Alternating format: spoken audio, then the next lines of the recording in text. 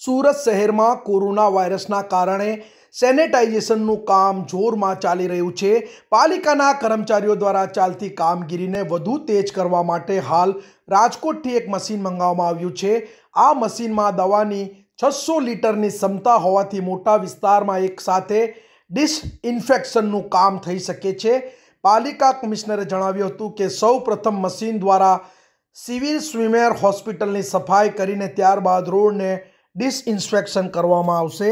Machine અંગેની જાણકારી આપતા પાલિકા કમિશનર દ્વારા જણાવવામાં આવ્યું હતું કે આ પીઆઈયુ કંપની દ્વારા મશીન બનાવવામાં આવ્યું છે. મશીન મોબાઈલ એપથી પણ ચાલે છે. દોઢ બે કલાકમાં દસ કિલોમીટર દવાનો છંટકાવ કરી શકે છે. આ મશીન પાલિકાને આપી દેવામાં આવ્યું છે. આગામી સમયમાં આવા વધુ મશીનો આવશે તેમ જણાવતા મજૂરાના ધારાસભ્ય હર્ષ સંઘવીએ જણાવ્યું હતું. આ પ્રકારના મશીનથી શહેરમાં કામગીરી વધુ ઝડપી બનશે.